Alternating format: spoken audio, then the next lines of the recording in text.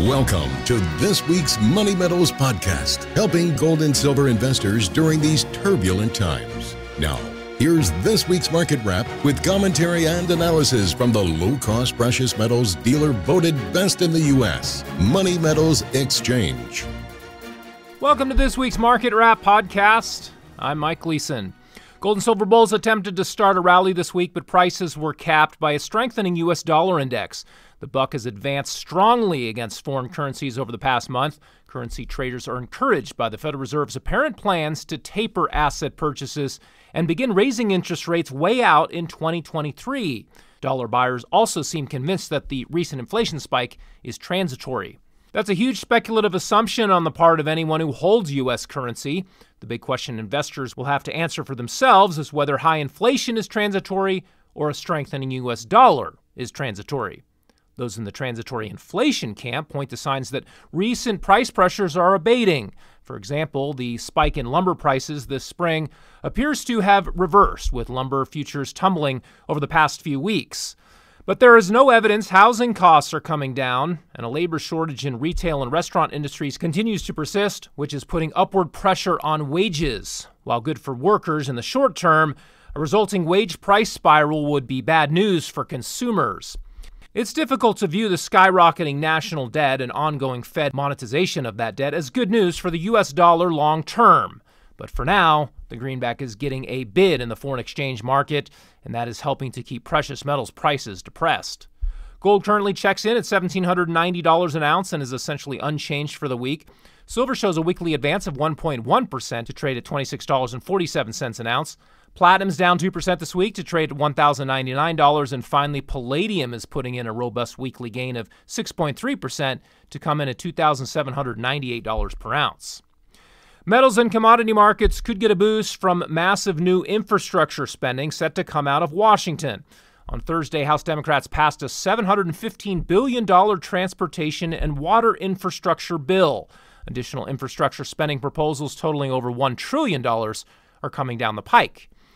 The current legislation does not include any specific funding mechanisms. The costs would presumably be paid for by adding to an already record high budget deficit. The government is testing the willingness of creditors to continue to lend by buying its bonds at ultra low interest rates. Normally, lenders like to have promises to pay backed up by some form of collateral, whether it's cars that can be repossessed in the case of auto loans homes that can be foreclosed upon in the case of mortgages, or jewelry or other valuables that are pledged in the case of pawnshop loans. What backs up Treasury debt is the power of the printing press. That can be viewed as a feature that renders default extremely unlikely, but it also renders losses of purchasing power via inflation much more likely. Pawnshop owner and reality TV star Rick Harrison understands the risks of losses due to default, theft, and fraud. He also appreciates the more insidious risks of inflation and the role of precious metals in providing protection. There's a reason my shop is called Gold and Silver. It's my two favorite things to buy. When you've been a pawnbroker as long as I have, you know real gold when you see it. Once you account for inflation, an ounce of gold buys you basically the same thing today as it did back then. The value really hasn't changed, just uh, our money's got worth a lot less. That's why they've been using gold as money for 6,000 years. And all paper money was was a promise to pay you real money. Right. Silver is the best conductor of electricity there is. I've been collecting silver, son, for the past 30 years. Silver and gold is a hedge against hyperinflation. That is the deal. Harrison recently told Kitco News that he is having difficulty obtaining and keeping inventories of physical silver. It's very hard to keep any bullion in stock. And the bullion we do have, I mean, I'm selling it for like four or five dollars over spot uh, when it comes to silver because I just can't get it right now. It's very difficult to get. I mean, just physical silver is a very hard thing to find right now. And um, I know a lot of people in this business and like people do retail in it. Physical delivery is very hard right now. Why, why do you think that is? Uh, well, there's a big thing well, with the COVID and everything. The uh, U.S. government stopped making eagles for a while. They, they got really behind.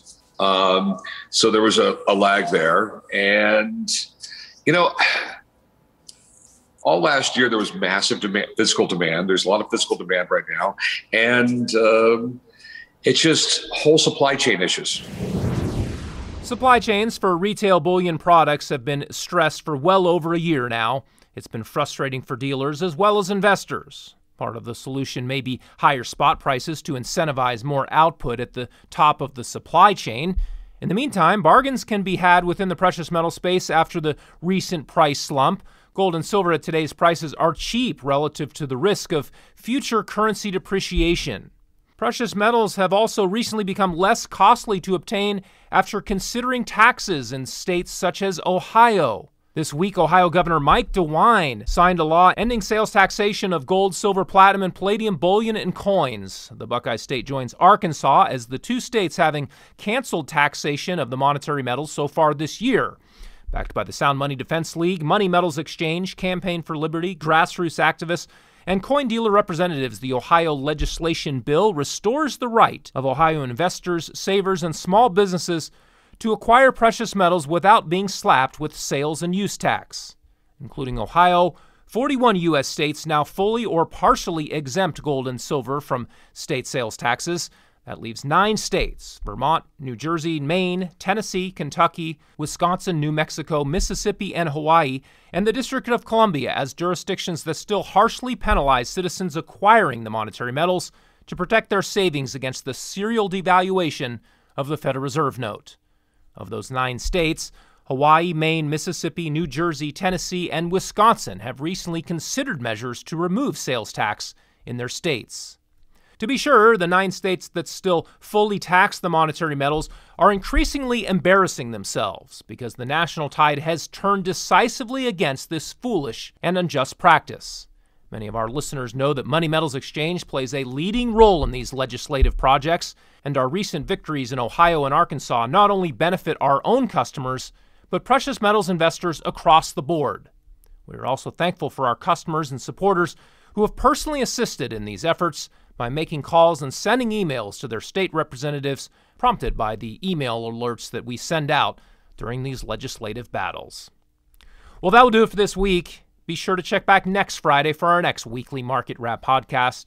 Until then, this has been Mike Gleason with Money Metals Exchange. Thanks for listening, and have a great 4th of July weekend, everybody.